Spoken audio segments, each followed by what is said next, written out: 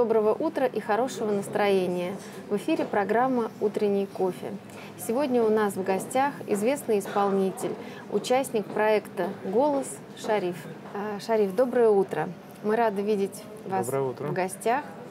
Ну, так как у нас программа утренняя, безусловно, всем нашим телезрителям интересно, как начинается утро у такого утро творческого человека. Это редкость утро, чтобы начинал, с утра начинать что-то. Если там какие-то утренние передачи бывают, то тогда приходится просыпаться с утра. Вот. А так все спят, все артисты спят до трех. И вы тоже? Да, я не исключение.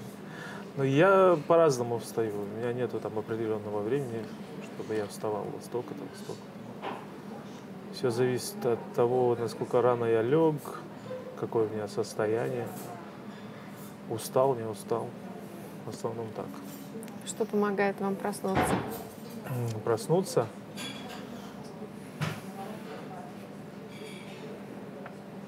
Обычно звонок. Кто-то будет? Да. Особенно мама звонит. Все. Кофе пьете по утрам? Ну да, бывает. Я люблю такой настоящий кофе. А сами умеете готовить? Да, я сам делаю кофе. Прям в турке все как надо, варите? Да, перемалываю зерна угу. надо, вручную. Угу. Потому что через машинку, если это все сделать, оно кофе нагревается и теряет свой вкус. В основном я люблю сам делать. Я немножко гурман кофе. Ну, вы, наверное, еще и готовите. Да, есть. Так как холостяк Приходится. Приходится. То есть это не любовь к приготовлению пищи, это вынужденная не, необходимость? Ну, иногда бывает такое, что сам захотел. По-разному. Это еще со студенческих лет. Я, я уже сам себе готовлю, можно сказать, лет 12 где-то получается. Какое любимое блюдо? Ах, ну, все зависит от от настроения, от того, чего я хочу на данный момент. Ну, у каждого человека же бывает, вот чего ты сегодня хочешь, завтра что-то другое. Но нет, нету такого стабильного, чтобы я всегда хотел. То есть вы такой человек настроения в этом плане? А, я вообще по жизни человек настроения, можно сказать. Хорошо, а если вот про настроение, когда ну, там какой-то расстройство, такую вот грусть находит, тогда появляются какие-то творения. У других наоборот, когда состояние радости, окрыленности какой-то. Для вас какое состояние важнее? Грусти, печали или радости жизни? Это может быть разные вещи. Например, там какой-то фильм посмотрел про музыканта. Да? Там вот последнее, когда смотрел Джеймс Браун, «Путь наверх», по-моему, вот так называется. Да. Очень серьезное впечатление на меня произвело. Это вот и вот ну, ну это есть э, ну есть разные вещи например песню послушал какую-то да послушал какое-то музыкальное произведение не обязательно песню классическое это неважно ну, я в основном люблю классическую музыку, рок я слушаю, да. Ну, и за редким исключением бывает, что популярная музыка, эстрадная. Вот.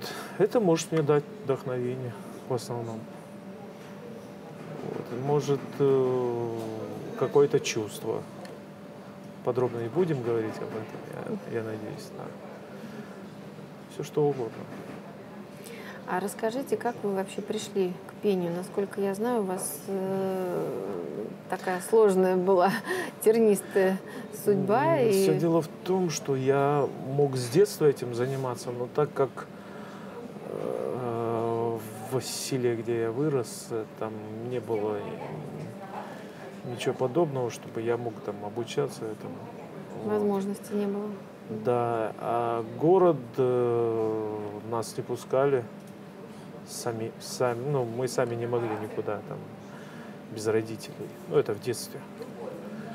Потом как бы уже юношеское время, уже были э, немножко серьезные ситуации, там, насколько мы знаем, да. И, соответственно, ну, я слушал, слушал, мне нравилось, там, хотя я не пел, но очень долго слушал музыку, она, и было желание так самому научиться, конечно. Ну, у вас в семье кто-то, родители тоже творческие Не. люди? Или как? Вот, вот, ну, вот почему? Родителей нет, родители вообще от музыки очень далеки. М.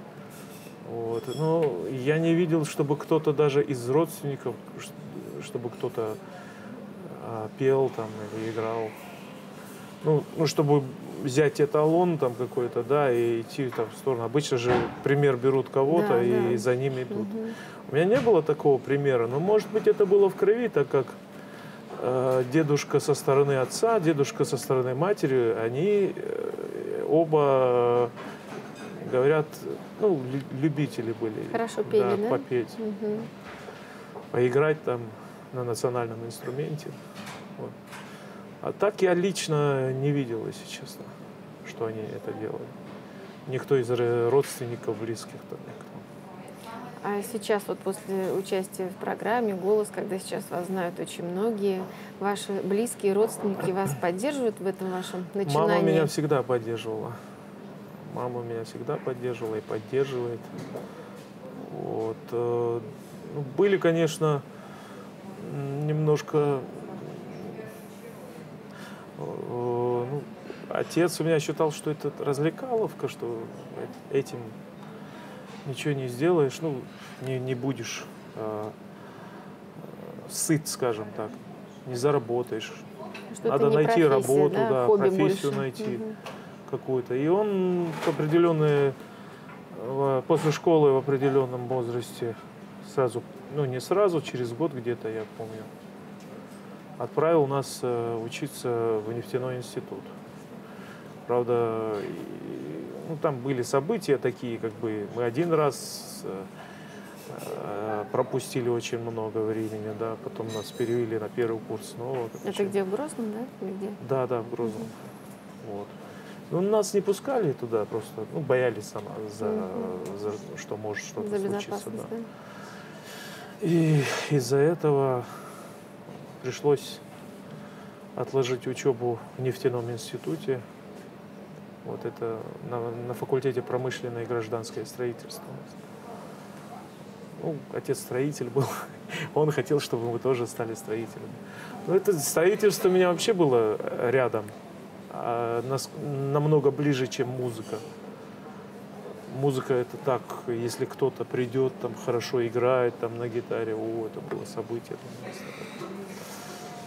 Но потом я сам собрал гитарку такую из того, что было, склеил это все, начал на ней учиться. Вот. Ну, Кое-чему научился, ну, самоучкой вначале. Потом в 22 уже поехал учиться. Это, было, это было мое желание. Отец был против, ну, так как я уже рассказывал, что типа это не, не профессия, надо деньги зарабатывать. а- Вот. И, конечно же, Краснодар. Поехал в Краснодар, поступил туда. Сейчас, как видите, закончил. Потом приехал в Москву. Тут тоже работал на стройке, конечно. Но так как, э, когда я приехал, чтобы устроиться петь в ресторан куда-то еще, для этого нужны были, нужна была аппаратура. Во многих ресторанах нужна была аппаратура, хоть какая-то. Например, там элементарно у меня даже не было ноутбука вообще никакого, да. Ну, денег не было, и, соответственно, приходилось что-то. Ну, конечно, я потом э, где-то это был 2009 год, да, в 2009 году я уже устроился как бы петь в ресторан. Вот. Ну и на первую первое время пел э, с партнером, да, э, потом купил себе уже ноутбук на вырученные деньги. Дело пошло. Да, потом уже я отошел от ресторанного пения, так как меня уже приглашали на корпоративы, и уже пел на корпоративах. Ну, в принципе, тоже ресторан, можно сказать. Да, но, но все-таки это такое. Э, больше, меньше времени занимает работа, скажем так, и больше платят. Ну, такие вот были заработки. Ну, когда приехал, работал на стройке. Это на маршала Жукова мы строили, вот там есть развязку видели, а, да? Угу, Такая да, да, да. На пересечении народного, народного ополчения, по-моему, угу. да, и маршала Жукова. Мы строили вот именно подземную часть. Тоннель вот этот да, большой. Да, да. Угу. А сейчас вы больше где время проводите? Живете в Москве или в Москве? В Москве, да? Угу. Да я у родных бываю очень редко. Вот недавно приезжала мама. Вот в основном они приезжают ко мне. А после участия в этом проекте как изменилась ваша жизнь? Вот появилась эта известность, популярность, наверняка много Появился плацдарм, я бы сказал, плацдарм для того, чтобы двигаться дальше. Очень-очень важный при том, э, так как когда просто появляешься с какой-то песней, на это могут уйти там годы, чтобы чего-то добиться. А сейчас э, нужны хорошие песни, я думаю, и хорошие песни, которые соответствуют мне, которые мне нравятся. Вот, я думаю... Но у вас очень хорошие такие оперные задатки. Не хотите в этом направлении как-то сконцентрироваться? У меня мало опыта для того, чтобы... Ну да, есть, э, есть э, природа, но это все... Все остальное надо очень долго нарабатывать, во-первых. Ну, это в процессе, в процессе работы, в процессе жизни, скажем так, я, конечно же, хочу развиваться. Хотел себе найти хорошего педагога, который бы занимался именно академическим вокалом. А, ну, эстрадное, это как бы я уже эстрадные, эстрадные вещи исполняю. В академических, классических произведениях там все-таки идет, э, э, там есть определенные каноны, там есть э, правила какие-то, да, вот, которые, которые нельзя, через которые нельзя переступать. Эстрада это все-таки легче в плане того, что там нету, никто не подковырнет, никто ничего не скажет. Вот я как чувствую, так и спел. А там есть четкие правила, в нотах все написано, как написано, так и пой. Дорогие друзья, мы прервемся на небольшую рекламу и продолжим наш разговор с э, известным исполнителем Шарифом.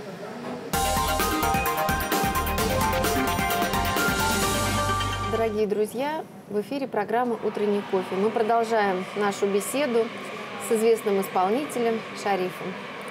Шариф, скажите, пожалуйста, а что вам в музыке, какой жанр ближе всего? Классическая музыка и рок. Ну, они рядом идут, я не могу даже себя ни туда, ни сюда. А вы сами часто слушаете, как вы поете себя? Чисто ради того, чтобы посмотреть свои ошибки. Но удовольствие получаете? Какое удовольствие? Меня это напрягает. Разбор полетов? Напрягает. Но я могу в процессе какое-то удовольствие получить.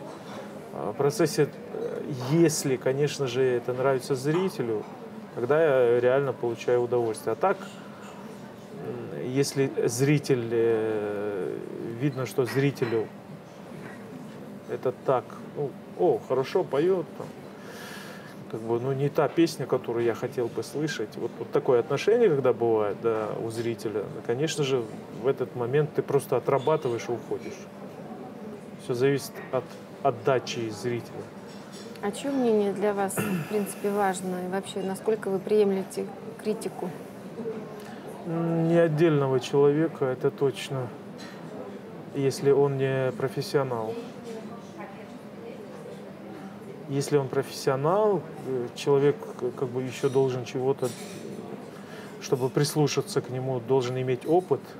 Ну, опыт в каком плане? Не просто, что он там музыкой занимался, а именно чего-то добился в этой жизни. Вот это как бы критика. Я, я вообще спокойно воспринимаю. таку- такую, такой критике я прислушиваюсь, а критики обычного человека я так могу послушать, сказать да, да, но сделать по-своему. Ну, например, мнение Александра Градского для вас важно? Конечно, конечно. А, насколько я знаю, вы сейчас э, работаете в продюсерском центре Григория Лепса. Да.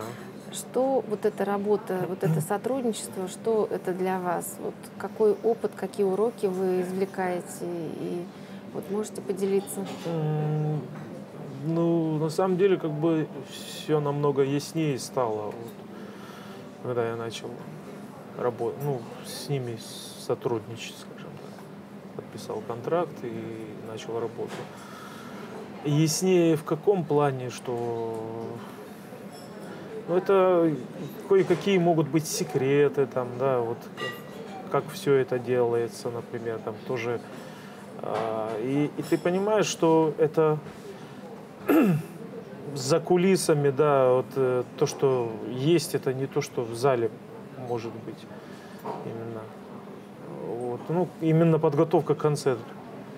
Это труд, это, это огромный труд на самом деле. Ну, взять, например, Григория Викторовича, да, он э, приходит где-то в 4 а, в концертный зал, сидит, настраивает, ну, слушает, говорит, что его не устраивает, и до момента, пока не начнется концерт. А концерт начинается где-то в 7-8.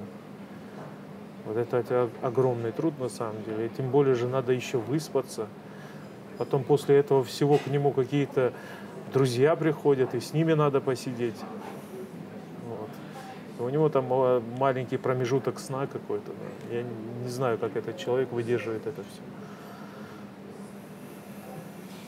Скажите, а была такая мысль с кем-то дуэтом спеть? Дуэтом? Не, ну идей, идей очень, идей очень много. Ну, как их реализовать? Еще же надо что спеть. Дело же не в том, что с кем это спеть, а что именно. Что вас может связывать с этим человеком, и чтобы вы смогли с ним спеть. Ну вот если взять нашу эстраду, с кем-то вам было бы интересно такой тандем? А, из, из нашей эстрады? Не, ну, конечно, как бы, я думаю, и не, не, и не, не одно имя.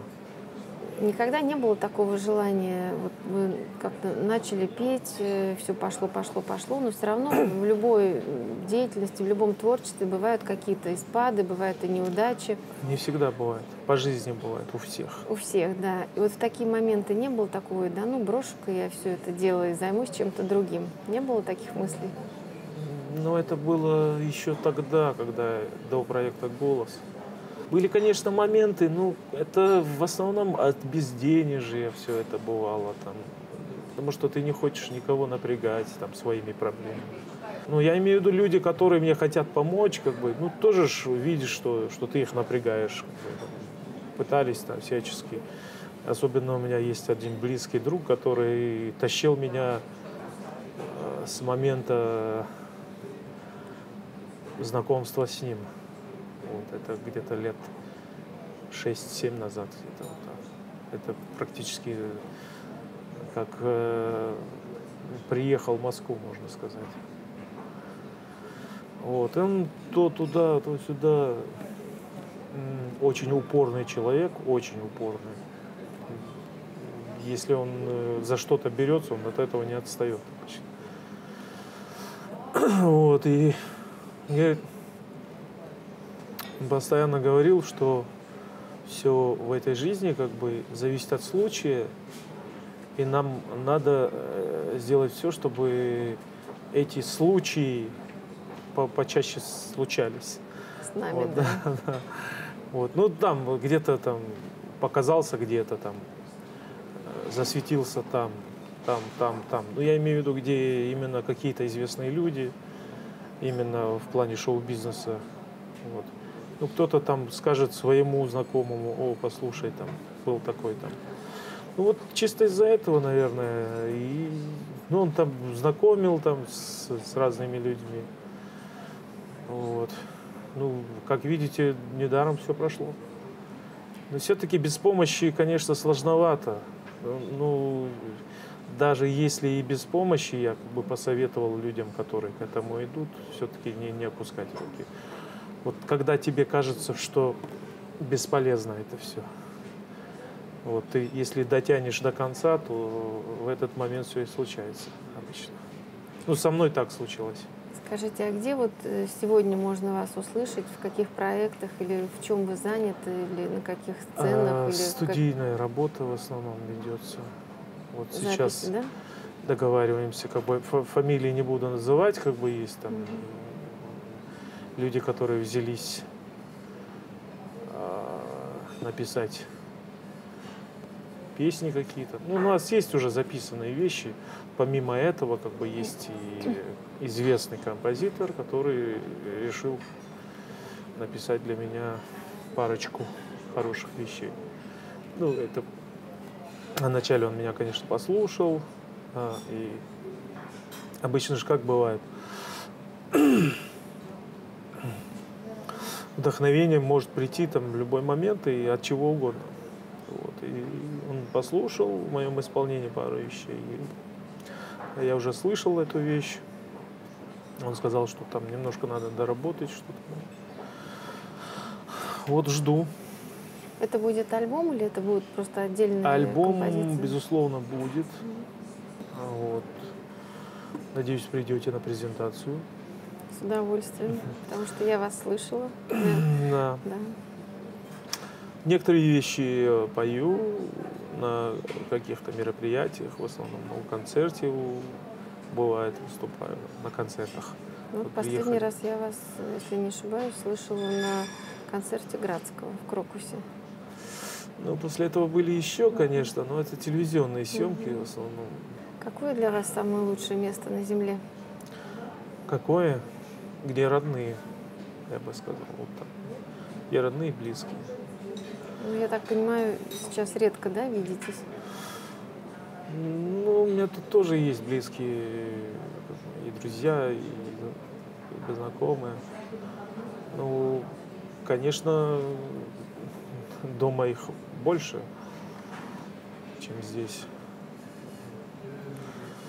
Шариф, а какие человеческие качества в людях вы цените, цените больше всего? Я в первую очередь э, из мужских качеств, я бы сказал, вот если человек за свои слова э, поставит, ну, если он отвечает за свои слова. Если он что-то обещал, то он должен это выполнить. Это мужское качество, я считаю. У женщины это все-таки по-другому. Женщина, она может сказать, я, я тебя ненавижу, да, больше наоборот. не приду. Угу. Короче, все, я ухожу навсегда, потом прийти. Вот, а я держался той стороны всегда, что если я случайно такое сказал, то назад пути нет все-таки. То есть вы человек, который, если принял решение, то вы принял и сказал. Я могу принять решение, передумать, но до того, как я сказал это. То есть, если Надо... вы озвучиваете да. свою позицию, вы от нее уже потом не отступаете. Я не знаю, это должно быть нечто такое, чтобы я отошел от этого. Ну, это, это, это мой стержень, как бы. Пускай каждого, каждого, каждый, я со своим уставом чужой монастырь не собираюсь. Но я считаю, что это мое. Меня а... так воспитывали, и мои друзья такие же в этом плане.